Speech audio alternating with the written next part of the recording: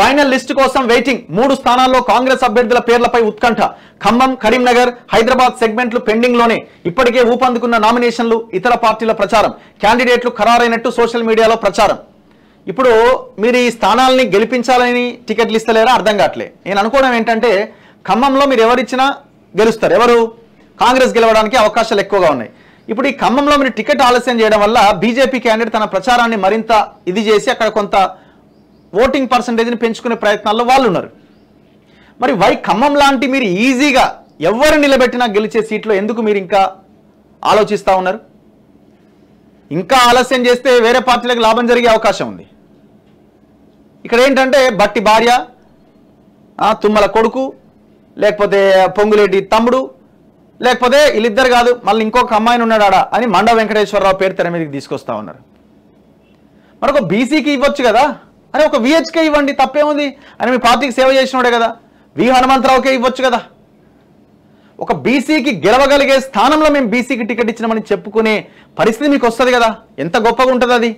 మరి ఆ ప్రయత్నం ఎందుకు చేస్తలేరు? అది ఈ టోటల్ ఈ పదిహేడు నియోజకవర్గాల్లో కూడా ప్రభావం చూపిస్తుంది కదా. ఎందుకు ఆ ప్రయత్నం చేస్తలేరు? లేదు. అయితే కమ్మ లేకపోతే రెడ్డి రెండు ఇద్దరిట్ల వరకే ఒకరికి ఇవ్వాలంతే. అయినా కూడా ఈ సీటు పెండింగ్లో ఉంది చూడండి. కరీంనగర్ మరి ఇది ఎందుకో మరి? ఆడ ఇప్పుడు బండి సంజయ్ ఆయన దూసుకుపోతా ఉన్నాడు ప్రచారంలో. ఇంతవరకు అక్కడ క్యాండిడేట్ అనౌన్స్మెంటే లేదు. ఇరవై ఐదో తేదీ ఎల్లు రెండు రోజులు అయితే నామినేషన్స్ క్లోజ్ హైదరాబాద్ హైదరాబాద్ మరి ఎందుకు పెండింగ్లో పెట్టిరో అర్థమైతే లేదు. అసదుద్దీన్ ఓవైసీతో కొంత వీళ్ళు దగ్గర అయినట్టు నేను చెప్తున్న మాట కాదు. ఫిరోజ్ ఖాన్ చెప్పిండు. ఫిరోజ్ ఖాన్ చెప్పిండు.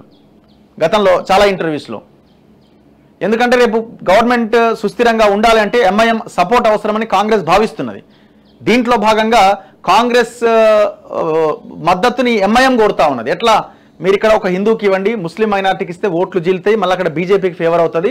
సో కాబట్టి మీరు ఒక హిందూకి ఇస్తే నేను గెలవడానికి ఈజీ అవుతుంది రేపు మీ గవర్నమెంట్ కూడా మేము సపోర్ట్గా ఉంటామన్నది ప్లాన్ అన్నమాట. వెరీ సింపుల్ ఏముండవు రాజకీయాలకు గింతే. అట్లా. ఇప్పుడు ఈ ఎంఐఎంకి ఏముందంటే పవర్ కావాలంతే. అందరు అందరితోని ములాఖత్ అవుతుంది దాంట్లో ఏం డౌట్ లేదు. బీఆర్ఎస్తో ములాఖత్ కాంగ్రెస్తో ములాఖత్ బీజేపీతో ములాఖత్ ఎవరితోనైనా వాళ్ళు కలిసి వెళ్ళిపోతూ ఉంటారు. వాళ్ళకి ఓన్లీ పవర్ కావాలి ఉన్న ఆస్తులు కాపాడుకోవాలి. ఏడ ఏడ పచ్చగా ఉంటే ఆడ- ఆడ చేరుతారు వీళ్ళు. క్యాండిడేట్లు ఖరారైనట్టు సోషల్ మీడియాలో ప్రచారం జరుగుతూ ఉన్నదట.